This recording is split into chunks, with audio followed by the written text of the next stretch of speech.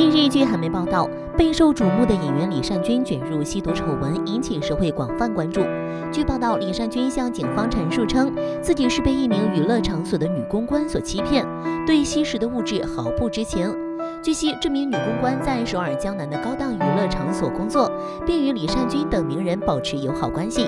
该场所主要服务于高收入人群。根据韩媒最新报道，李善均涉嫌出轨，并未曝光与女公关的对话音频。被曝光的对话中，李善均竟表白道：“我很喜欢你，知道吗？”女公关巧妙地引导他回应道：“不知道，你又没表现出来。”两人的暧昧互动可谓让人啧舌。随后，女公关掌握了李善均的把柄，反过来威胁他，于是双方关系破裂。更让事情变得扑朔迷离的是，警方在调查中听到女公关声称：“欧巴在我旁边吸大麻。”于是开始着手调查吸毒问题。没想到一调查就激起了千层浪。如今，李善。